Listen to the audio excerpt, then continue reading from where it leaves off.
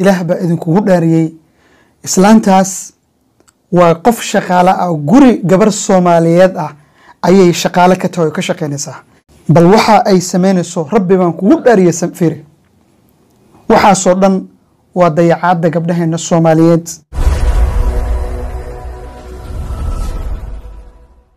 Asalaamu calaykum waraxmat ullaahi wabarakaatuhu. Isku soo noqod aragti wanaagsan oo xiise leh. Inkastoo muddo aan kala maqnayn halkan dadka nagaga xiran aad baan idin salaamayaa meel walba oo dunida aad ka joogtaan waa walaalkiin cabdulaahi macali xuseen halkaad igala socotaana waa channelkanaga narore channel. Fadlan haddii aadan ka mid ahayn weli dadkana soo booqday. Intaadna soo booqato ka mid noqo asxaabta nagu xiran ee saaxiibada dhow aanu nahay. Islamarkaasina wixii taliyay tusaale ah qeybta commentiga ama qeybta messengerka hadda meesha ay kaaga suurta gasho biidn illahi alkariim. Nagala soo wadaag. Waxaa la socotaan gabdhaheena soomaaliyeed badankood ee dumarka macnaha waxa weeyaan guryaha uga shaqeeyaan in dayac fara badan uu ka muuqdo. Dayac aad u tiro badan ayaa xaqiiqatan ka muuqda. Waxaan rabaa kilib la ii soo diray oo laakiin ay suurto gashay inaan maanta idinla wadaago aniga xaggayga ah inaan idiin soo bandhigo. Bal ilaah baa idinkugu dhaariyey qofkaani aad arkaysaan qoys soomaaliyeed ayay jaariyad u tahay oo ay u shaqaysaa waxa waaye qofkan waxa ay macnaha waxa weeyaan dhex taaganta waa waa jikada. Jikay dhex taaganta. Waxa ay gacanta ku hayso waa garaafo. Hadda waxa ay biyo ka soo daraysaa haantii ay biyuhu ku jireen. Waxay ku shubtay distiga ayay ku shubtay haantii. Dhexda ayay qabsanaysaa araxda malaha xanuun baa hayaan u malaynaya fashion. Waa qof ay xaaji hayso oo u baahan inay suuli gasho oo soo xaajo gudato. Laakiin halkii la doonayey in ay suuliga ku soo xaajo gudato kuma aanay soo xaajo gudane waxa ay samaynayso ayaan rabaa inaan idinla wadaago. Garaafada ay hayso way soo qaaday. Muuqaalku waa in yaroo kooban oo adigu meelaha hal iyo laba daqiiqa aan dhammayn waxay rabtaa marka haddeertaa inay xaajo gudatay rabtaa. Isla garaafadiina gacantay ku haysaa. Qofkani ma rabto in macnaha markii ay xaajo gudanayso in qoyaankii iyo wixii dee wasaqdii meeshii lagu arko. Waxayna rabtaa inay xaajo gudato. Waxayna rabtaa inay ku xaajo gudato isla kushiinkii ama madbakhii ama jikadii ay ka shaqaynaysay ee alaabta ay ku dhaqaysay ama cunada ay ku karinaysay ee macnaha waxa waaye ay ku dhex xaajo gudatona way rabtaa. Laakiin qoyaankiina in la arka ma rabto. Maxay samaysay marka? Garaafadii haanta biyaha ay oga soo daraysay oo ay disida ku shubtay oo aad wada arkayseen bay intay qaadatay is-hoos dhigtay markaasay ku fariisatay. Markaasay ku fariisatay. Haddaba maxaa dhacay? Bal indhahaagu markhaati ha noqdaan. Oo is fariisatay hadda ha ujeedaan inkastoo macnaha waxa weeyaan cawradeeda aan la arkayn oo ay noo suurto gashay muuqaalka inaan idinkula wadaago. Weli waxay ku fadhidaa garaafadii ay biyaha ku darsanayso haanta ay kaga soo darsanaysay ku fadhidaa. Xaajadii bay weli wadaa hawsha hawshii baa weli socota. Cajaa'ib sheekhow. Walla waa la dayacan yahay. Way soo istaagtay. Hadda meeshii waa ka soo istaagtay. Maradeeday deysatay waxa waaye si fiican bay isu hagaajisay. Waxay soo qaaday garaafadii ay ku xaajo gudatay. Garaafada kaaga daran garaafada ay ku xaajo gudatay inay buuxsanto wax yar baa ka dhiman. Inay buuxsanto wax baa ka dhiman. Malaha waxaa leedahay qofku saddex maalmood suuli intuu galay maba uusan soo xaajo gudanba. Saddex maalmood inuu qofkaasi suuli galay oo soo xaajo gutay ma moodid aad bay macnaha kaadidu u buuxdaa oo ilaa bartanka ay kor u dhaftay garaafada kala barkeeda ay kaadidu kor u dhaftay haddaba maxay samaysay marka? Waxay la dul tegtay halkii alaabta ay ku dhaqaysay. Alaabta meesha ay ku dhaqayso ma marna oo faaruq ma aha alaab kale ayaa ka buuxda oo dhex cajaa'ib reerkaasu talow ma nabad qabaan oo caafimaadkoodu taamaya inna lilaahi wa inna ilaahi raajicuun way qaaday? Kaadidii ayay meeshii ku gedisay geb geb meeshu faaruq maaha agow alaabna way dhex taallaa subxaanaka ya cadiim. Isla garaafadii baa intay soo qaada haddana ay dib u isticmaalaysaa oo intay biyihii ku soo darsato ay macnaha distidii inta ku shubtay rabtaa inay beriis ama baasto ama suugo hadba wixii markaa dabka u saarnaa ay doonaysaa in ay qoyskaa u kariso. Inaa lilaahi wa inaa ilayhi raajicuun haddaba marka waxaa la ii sheegay in qoyskaasu markii muuqaalka ay duubayeen c c camerada markii ay duubaysay muuqaalkan horey looga shakiyey gabadhan guriga ka shaqayso horaa looga shakiyey. Markii laga shakiyey cunadii oo dhadhankeedu isbedelay cunadii oo nooc kala noqotay cunadii horey u macaaneed oo jadwal kale gashay dumarkana waa iska taqaanaan. Markii cunadu ay isbedesho waxay is yidhahdaan malaha bariiska basmatiga lagaa soo gaday noocii aad rabtay malaha ma aha meelo kalea laga fikiraya. Ee lagama fikireenba islaantan guriga ka shaqeysaa waxaa ku dhaqmayso maba laga fikireen laakiin ilaahay qulubtii isla reerka wuxuu ku soo riday bal in c gurigii lagu soo xiro isla markaasina macnaha waxa weeyaan hawshan meesha ka socoto si loo ogaado oo markaasi islaantaa guriga ka shaqeysa ay qabanayso.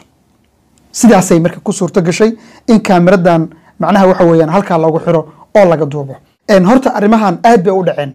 Waxaan macquul ahayn oo qofku uusan u qaadan karin qof aan muslim ahayn oo aan salaad tukan oo aadan nadaafadiisa aqoon oo macnaha aadan caafimaadkiisa aadan garanayn inaad bajiko u dirsato oo aad tirahdo cunno ii kari baaba wax weyn ah. Adoo heli kara gabar soomaaliyeed walow de markii loo eego gabdhaha kale ee macnaha waxa weeyaan ama kenyaanka ah ama ama afrikaantan kale ah iyo gabadha soomaaliyeed ee cidaha guriga ka shaqeeya aysan isku qiimo ahayn haddana adoo heli kara gabar soomaaliyeed oo muslimad ah oo nadaafadeeda aad taqaan oo baatiga kula xiranaysa oo aad walaashan karto oo laga yaabaaba inaad ehel tihiin adooba heli kara in aadba qof aanan muslim ahayn oo dee diintiisaba aadan aqoon wuxuu ka shaqeeya aadan garanayn caafimaad ahaan jirkiisa aadan ogeen inaadba guri u dhiibatood mas'uuliyad saarto oo aad tirahdo jiko ii gale cunno ii kari ayaa mustaxiil ah. Wax weyn weeyaan.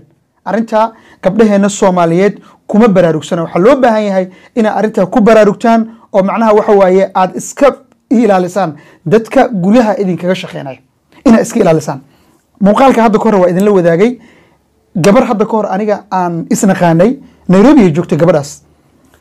Waa isnaqaanay gabar baa u soo gashay shaqaale ah.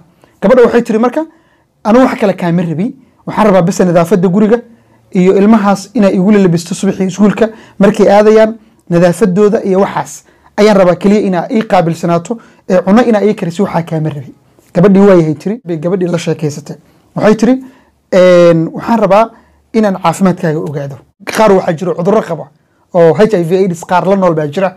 Haddii aadan la sheekeysan oo aadan wixii weydiin ama dhakhtar aadan geen ood iska soo baarina dee waxa weya qofku markuusan dee kula diin ahayn kula dhaqan ahayn waxaa laga yaabaa inuuba wixii xaasidnimo kugu faafiyo ayaa macquul ah. Gabadhii waxay ii sheegtay waxay i dhahday tiri anigu waan caafimaad qabaa wax dhibaato ama qabi markaasaan waxaan dhahi tiri haddiiba xataa ay dhacdo oo cudurka aa qabto dhib ma lahan daawadiisaan kuu gadaya kuuma xisaamin doono maxay ahayto anaadan ila joogeysaa daawadan baad isticmaalaysaa hawl kalena kuuma dirsanaye guriga nadaafadiisu baad ii qabanaysaa bal caafimaadkaaga aan soo ogaade nakeen dhakhtarka ii raac. Haddii laakiin aad qabto cudurkan oo aad isku og tahay dhib ma dhakhtar kuma geenayo ee maxay ahayto daawadiisaa qaadanaysaa haddii aadan isku ogeynna aniga isoo qanco nakeen dhakhtarka aan tagnay. Waayahay tiri berri baan ku imaanayaa. Berridii baa la isku soo laabtay markay gurigii timid dhakhtarkii tii kalena oo guriga laheedna dhakhtarkii isku diyaarisay mugta markii ay israaci rabeen bay intay u sheegtay waxay tiri aniga cudurka h i v ids ayaan qabaa oo muddo toddoba sanaba aan la noolahay. Daawadana waan qaataa waa kaasa. Markaasay tiri sidaas ahaa waaya haddana iska baxo gurigaaga aad markaa guriga tagtaan ku soo waxaya. Sidii baan gabadhi isaga dari tiri marka qofka waa inaad ka taxadirtaa caafimaad ahaanba horta inaad iska tijaabiso. Laakiin gabdhaheena soomaaliyeed aad iyo aad bay arintaas uga hoos baxsan tahay aad bay uga hoos baxsan tahay war qof aanan kugu dhaqan ahayn kugu diin ahayn aadan garanayn caafimaad ahaan sida uu yahay. In aadba mas'uuliyad u dhiibato oo aad tirahdo gurigaa ii joogo ii nadaafadee ayaa wax weyn ah.